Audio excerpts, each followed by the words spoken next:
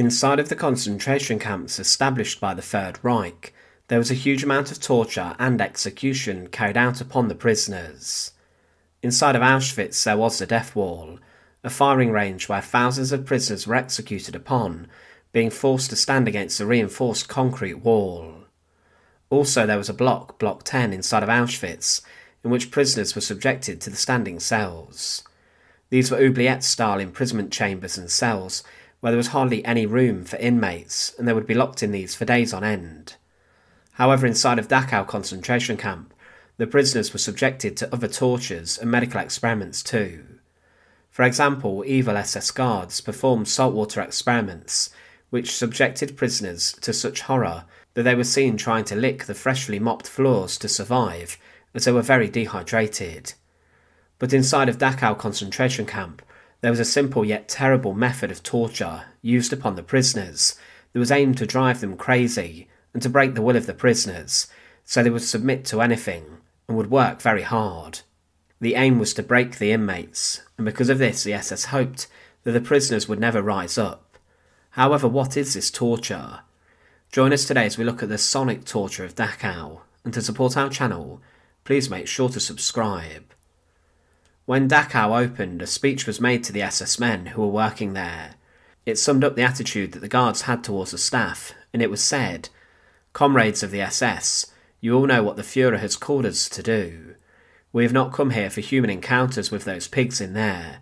We do not consider them human beings, as we are, but as second class people. For years they have been able to continue their criminal existence, but now we are in power. If those pigs had come to power, they would cut off all our heads. Therefore, we have no room for sentimentalism. If anyone here cannot bear to see the blood of comrades, he does not belong and had better leave. The more of these pig dogs we strike down, the fewer we need to feed. Over the years, they would brutalise many different prisoners from day one.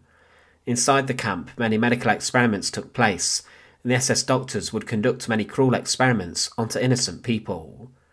There were different people from different countries who were imprisoned there, and the camp was originally designed to hold German and Austrian political prisoners, as well as Jews.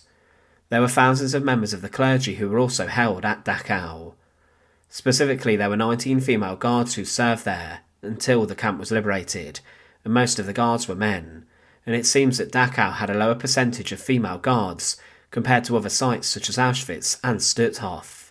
When the camp first opened, the commandant of Dachau, SS officer Theodor Eicke, tried with all means available to him to teach the prisoners nationalistic principles and to drive the internationalist ones out. Many prisoners were political prisoners at this time, and Eicke restructured the camp to be more productive and profitable, and he made sure that the guards of the camp were brutal in their actions and violence towards the prisoners.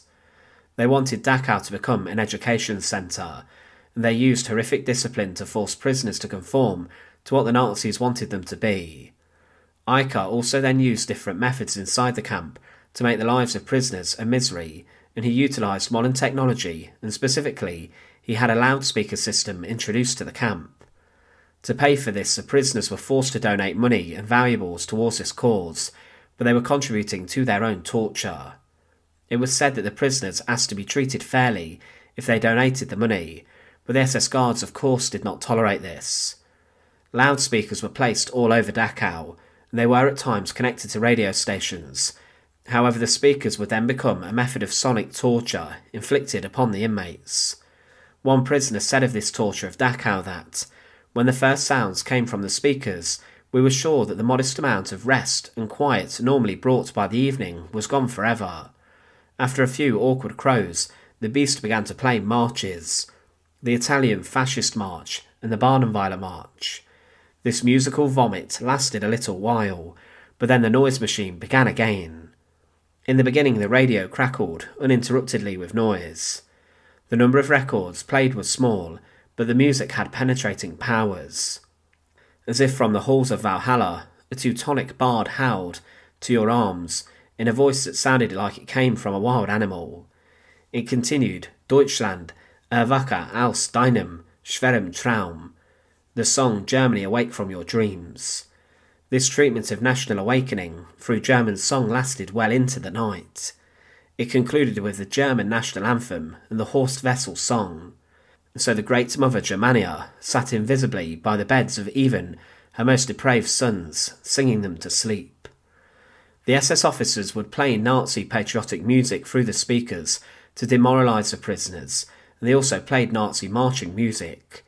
The prisoners were to begin with allowed to listen to the radio, but this changed, and the loudspeaker system then became something which was used by the commandant of Dachau to scream, screech, and launch tirades upon the prisoners. More speakers were installed in the camp, and prisoners were then forced to listen to Nazi music constantly throughout the day. One inmate said it went on constantly, to the point that the inmates did not even notice this.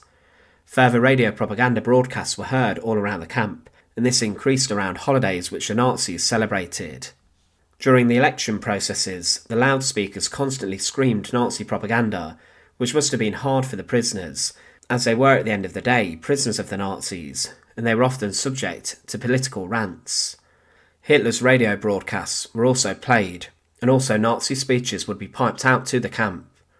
One prisoner said that, in the late afternoon and early evening, the musical Hors d'oeuvres were brought out. Parade marches and jingoistic music by Wagner. It was great difficulty that we digested the turgid speeches of the Fuhrer. Some prisoners were even allowed to vote inside Dachau when they were held there, and they were then forced to vote for the Nazis over the loudspeaker system in the camp. But Dachau was seen as the first camp, and it was also a site where the Nazis tried to make prisoners go mad and bombarding them with political speeches, Nazi music, and ranting was a constant reminder of their plight.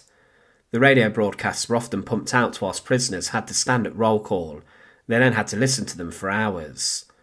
They were being constantly reminded that they were the enemies of the Nazis, that they were imprisoned at the hands of them.